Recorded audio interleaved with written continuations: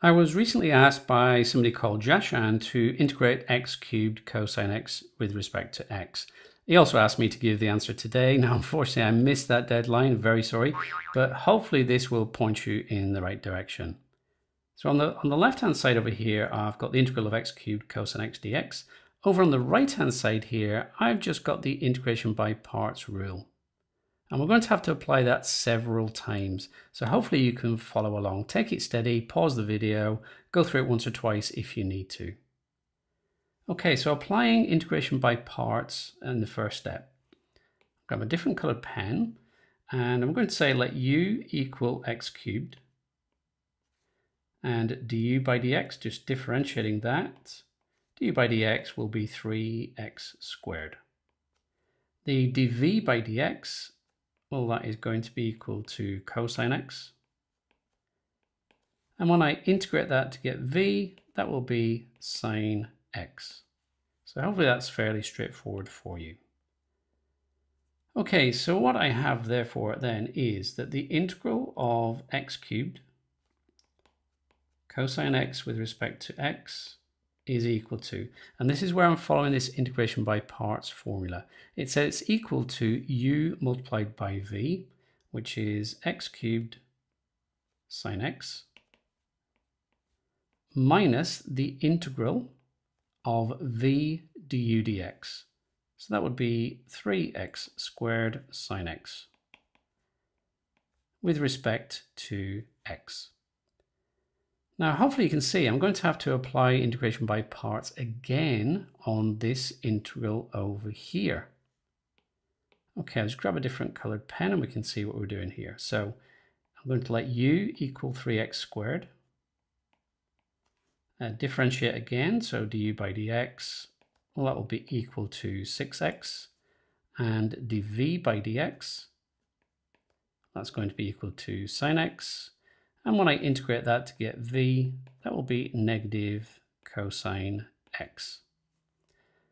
Okay, well, this part here, I can just copy that and paste it down here.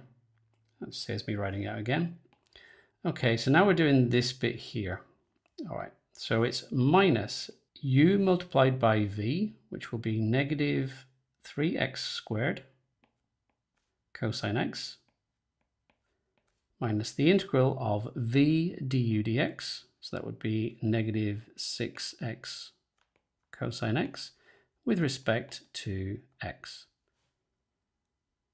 Now let me go ahead and tidy things up a bit here. So I've still got this bit here, so I'll just copy that and just paste that underneath again. Okay, these two negatives here will make a positive, so I'm going to have that as a positive 3x squared cosine x.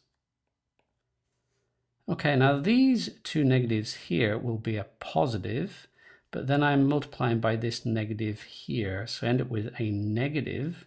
So negative, then we've got the integral of 6x cosine x dx. So it's just a case really of being careful with all these positives and negatives.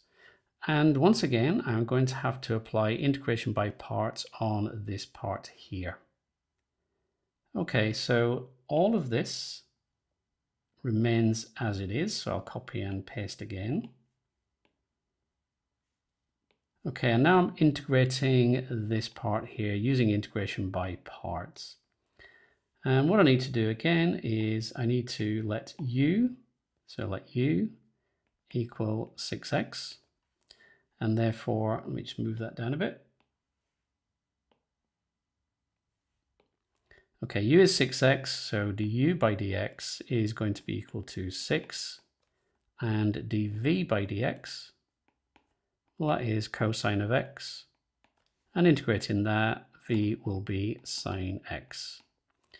Okay, popping all that in, so we're going to do minus the integral of v du dx, so that is 6x sine x minus the integral of v du dx, which is 6 sine x, with respect to x.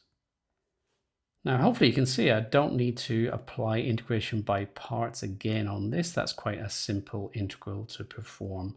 But let me just go ahead and tidy things up a bit. So we've still got this bit here. So I'll just copy all of that again and we'll paste it down here. Okay, now we've got this negative 6x sine x. So that's negative 6x sine x. Now this negative here and this one would be a positive, but I know when I integrate uh, sine x, I will get a negative cosine x. So three negatives in total there, so the answer is going to be negative. And integrating 6 sine x is 6 cosine x.